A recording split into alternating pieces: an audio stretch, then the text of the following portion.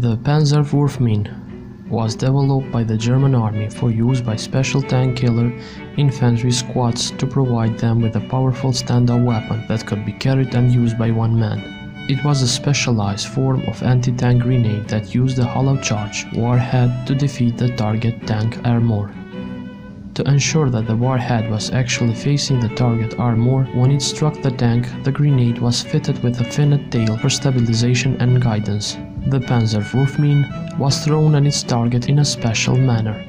The grenade warhead had behind it a steel body attached to a wooden handle. The user gripped this handle and held it behind his back with the warhead pointing vertically upwards. When ready the user swung his arm forward and released the handle as soon as the grenade was in flight, four canvas fins unfolded from the handle for guidance and stabilization, and the drogue effect of these fins maintained the warhead in its correct forward position, ready to have maximum effect as it struck.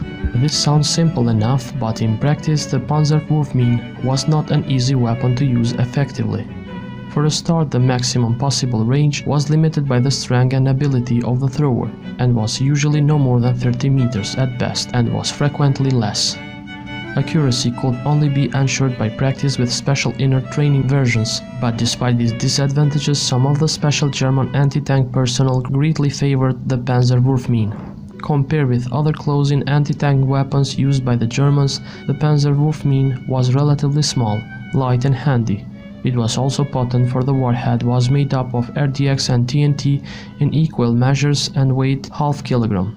Combined with the hollow charge principle, this usually ensured penetration of even the thickest armor of nearly all Allied tanks.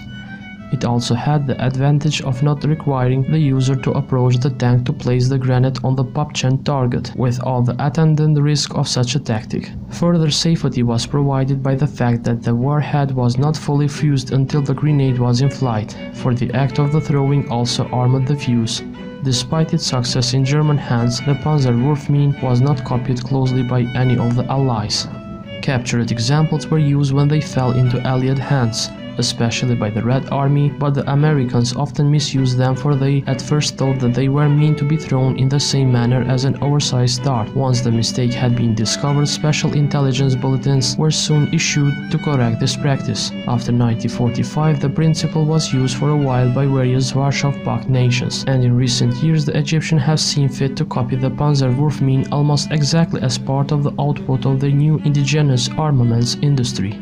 They have discovered that this type of anti-tank weapon is exactly suited to their infantry anti-tank tactics, and their version is reported to be quite capable of killing the most modern tanks. The German Panzerwurfmine was much favored by tank killer squads, for although it was a close-range weapon that could knock out even the heaviest Allied tanks, it was thrown in such a way that the hollow charge warhead was always in front to strike the tank armor first.